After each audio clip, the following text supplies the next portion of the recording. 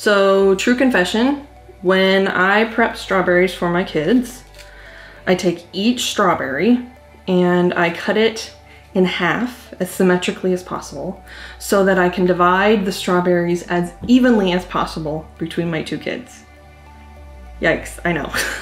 but really, I do it for my own peace of mind because fairness, fairness, let's call him Mr. Fairness.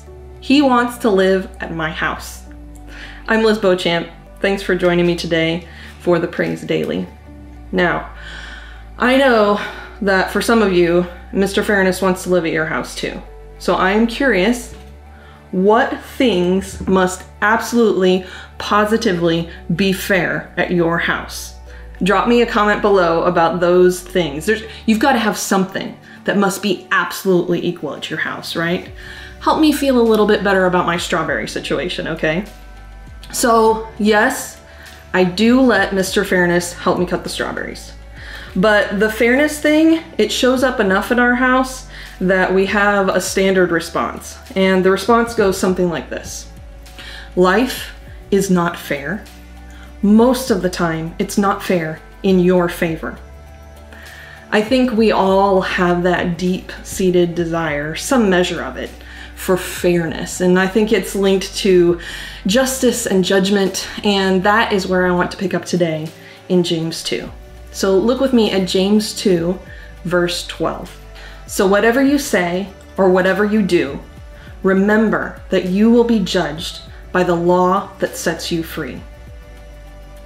So we're each facing a judgment from God where He will determine what is fair, what is the just result of our lives. And I don't know about you, but for me, it's not looking great what I deserve is kind of ugly. But the law that we will be judged under because of what Jesus has done, regardless of the fact that our thoughts and our actions and our words deserve death, the law that we will be judged under, it doesn't bind us or condemn us, but it sets us free. And James goes on in the next verse to tell us what we should do about that. Verse 13. There will be no mercy for those who have not shown mercy to others. But if you have been merciful, God will be merciful when he judges you.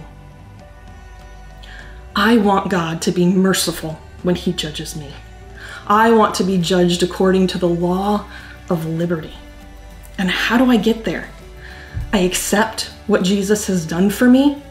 And then what follows out of that is that I treat others with the same mercy that I have received. And what a, wide and deep and enduring mercy that is.